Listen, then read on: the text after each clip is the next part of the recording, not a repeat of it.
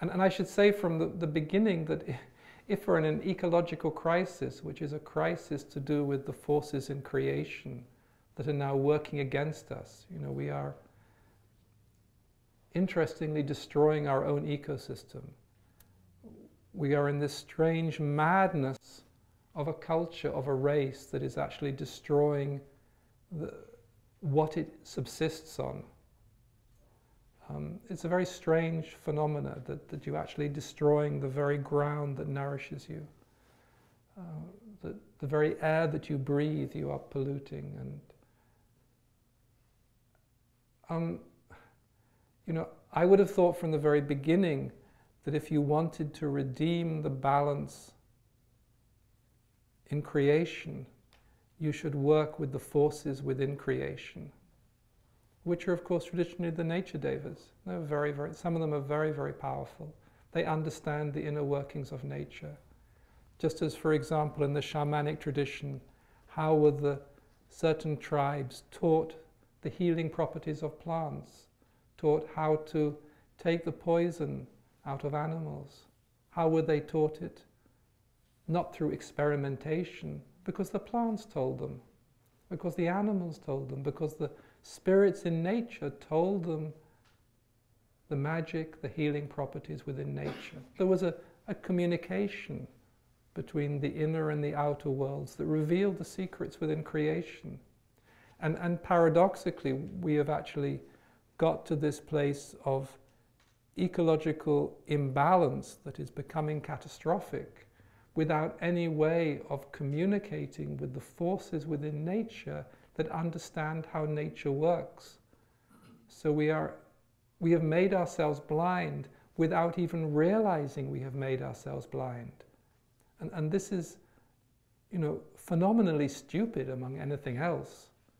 Because the, the nature devas are not just about growing big carrots. They're about the very forces of nature and how they work and how they can be healed and how they can be redeemed.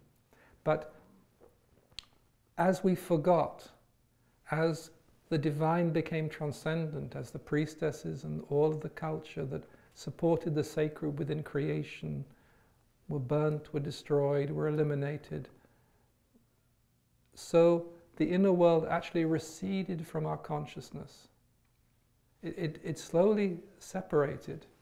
And I say you can see that in various traces, as I love Shakespeare, he, he talks about it.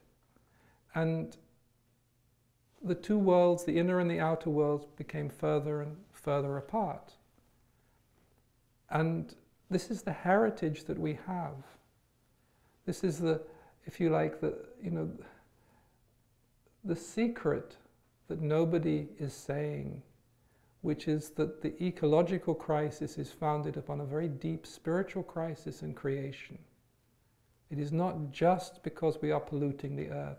It becomes from a very, from a, a very foundational attitude that we have in our culture towards creation, which I say an indigenous person would never even consider, because for them was our mother the earth.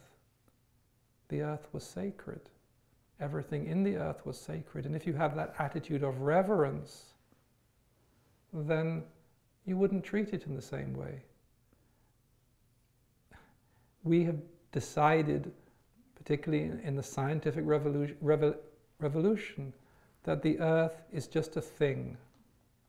And they actually did this very consciously in the, in, in, in the 18th century. They said that, for example, animals cannot feel anything so it is okay to do whatever experiment you like upon an animal because it cannot feel anything. And that is just an example of the attitude that underlies what is happening.